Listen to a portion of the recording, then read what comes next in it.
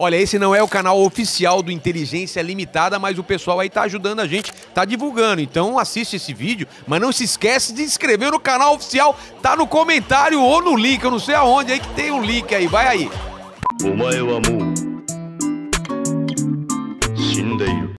Mas depois desse lance aí da, da desse show, você continuou batendo no- em todo mundo. Uhum. E qual foi a primeira coisa que te tentaram cancelar? Você lembra? Qual a primeira tentativa de cancelamento com uma coisa específica? Porque até então você sentiu uma.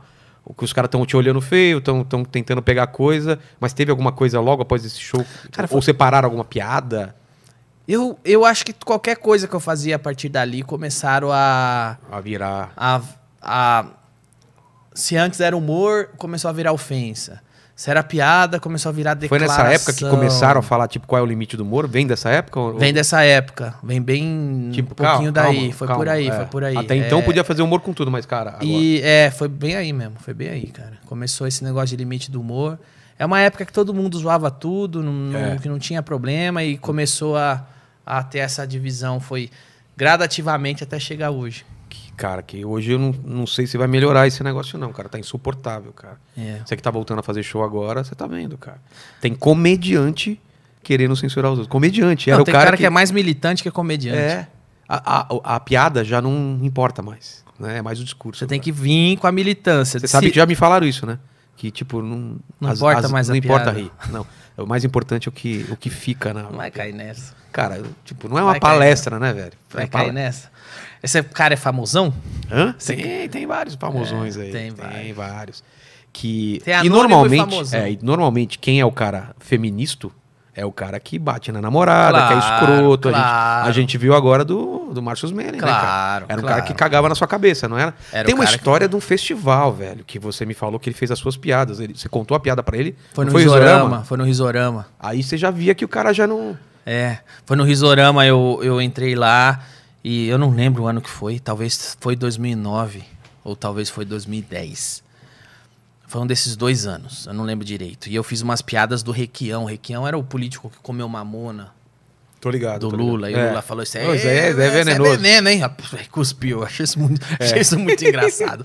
E eu fiz umas piadas dele em Curitiba e como na plateia tinha um, um pessoal que eu não sabia, mas que era adversário político dele, eu não fazia ideia. A reação da plateia, que já foi grande, se juntou com a reação daquelas pessoas, ficaram em pé, bateram em mesa. Foi uma Caralho. reação gigantesca por causa dessa piada. Foi uma coisa fora da curva, que eu assustei. E o Márcio Smelling tava lá, só que o Márcio Smelling não ia fazer show. Ele não foi lá pra fazer show. Foi lá pra quê? Pra... Sei lá, Fazer falaram um que ele foi, ele foi atrás de uma atriz do Zorra lá. Falavam isso. Tá. Aí ele veio aqui pra tentar pegar. um- Supostamente. É, supostamente É. ele foi atrás de uma atriz do Zorra que tava fazendo sucesso na época lá. Mas ele não foi pra fazer show. Ele só foi lá pra visitar. E quando eu desci do palco, ele falou: Vem cá, o que, que é isso aí que você falou em cima que deu esse monte de riso? Requião? O que, que é Requião? Aí eu expliquei: Requião é um político daqui, comeu mamona. A minha piada é por causa disso, disso, disso. Eu comparava o Requião com barata, com mamona pra matar. Eu, eu- eu eu Sei, fiz minhas sei. conexões lá. Sei, funcionou E, pra é, caralho. Pra caralho. Ah, é isso, é? Nossa, que reação. Nunca vi ninguém reagir assim. Parabéns, muito bom. Muito bom. Falei, legal, cara. Saí falando, pô, gente fina esse Márcio É. Da Globo, gente boa. Aí teve a segunda sessão, aí o Diogo Portugal falou: o Márcio Smelling pediu pra fazer aí, ele, nem, ele nem tá escalado pra fazer o show. Mas ele pediu pra fazer. Ele pode dar uma palhinha? Eu falei, pode. Mas ele pode entrar antes de você? Eu falei, pode. É. Aí ele entrou antes de mim e fez as piadas do Requião. Caralho, cara. Aí eu tava lá embaixo, eu falei, Não, não, não pode ser verdade. sério? Como assim, cara? Ele desceu com. Se nada tivesse Não, acontecido. não aconteceu nada. Ai. Desceu e tal. E contou mais ou menos ainda, porque como não, não é dele, não sabia É, não que tinha tá falando. embocadura. Você não, é, não tem embocadura. Ele, É. ele não entrega com a segurança aqui. Saiu toda travada. Só fudeu mesmo a é, piada. aí você não podia fazer de Desceu novo. plateia boa, né? E tal, e foi embora. Eu, Caralho. E você sabia já do lance da calabresa? Ela já tinha te procurado antes de ter vazado pra imprensa? Quando. É, tem uma coisa Você é engra- muito amigo dela ou não? Eu sou amigo dela, sou bem amigo dela. É engraçado, porque a- a- mais de ano eu sabia. Ah, um é? dia ela chamou eu pra jantar e todos aqueles detalhes que ela contou na Piauí, ela tinha me contado pessoalmente. Caralho. E ela falava muito pra mim também no WhatsApp que ela tava não, não aguentava mais porque ela sofria muita retaliação, sofria muita perseguição, sofria muito, muita pressão na Globo, que ela tava deprimida, ela tava sugada, eh, tava, eh, tava se sentindo péssima por estar lá. Aí eu chamei ela pra fazer o filme dos Terminadores do Além. Ah, é. Aí ela topou e ela falava, pô, obrigado por ter chamado, pelo menos eu pairo um pouco a a cabeça. que tá foda. Porque ela fez o filme meio que numa, no ápice. Ah, é? É, eu acho que ela tava bem mal essa época que ela fez o Caralho, filme. velho. Nessa época do filme eu não sabia essas coisas do Marcius Manning. Ela só falava que tava mal, que tava sofrendo muita pressão Ah. e tal. No fim do ano passado, que ela me chamou pra jantar e contou com 2019. todos os detalhes. De lá pra cá, é engraçado isso, porque de lá pra cá ela falou.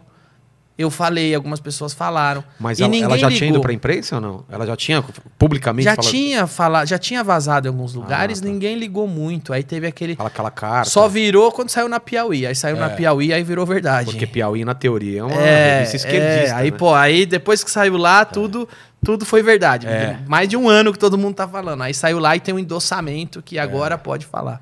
Caralho. Porque, pô, Eu, eu tô anos falando assim, cadê um mexeu com um, mexeu com todas, É. com a calabresa? Eu tô É. mais de ano per- perguntando, cadê o mexeu com uma, mexeu exatamente, com todas? cara. Se você for no meu Twitter lá, eu tô lá falando, porra, mas já, já falou, já denunciou. E cadê o mexeu com uma, mexeu com todas? Porque o Zé Maier encostou a mão na, Nossa. na mulher, que aliás falam que era amante dele, É, né? eu vi essa história. Tinha uma história, tinha uma ligação, uma mulher tava, eles estavam de pá virada, a mulher denunciou na hora, mexeu com uma, mexeu com todas, lincha o Zé Maier, acabou pro Zé Maier. Pro Marcius Melling, velho, foram meses. An- foi quase um ano. Não, isso- e ele fez um vídeo nojento, cara. Acho que foi pra UOL também. É. Respondendo, chorando e falando, caralho. Que ainda vai processar todo mundo, cara. Ah, inclusive a calabresa, velho. É o cachorro, é o rabo balançando o cachorro. E, e sabe o que vai acontecer, cara? Provavelmente nada. Daqui a pouco Nada. ele volta. Não sei, acho que não.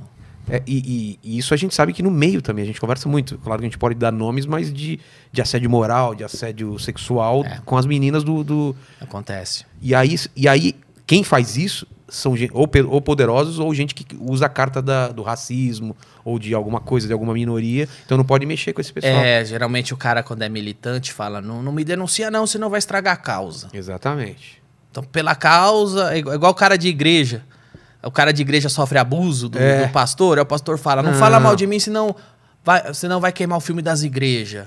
Aí a pessoa engole o abuso. É. É o militante quando comete assédio. Não, não, fala, não fala que eu fiz assédio, não, senão queima, A- a queima gente- a nossa causa. É, pelo, é aquele negócio de nós contra eles, né? A gente contra eles. Você quer fazer, isso. mas os caras vão se fortalecer.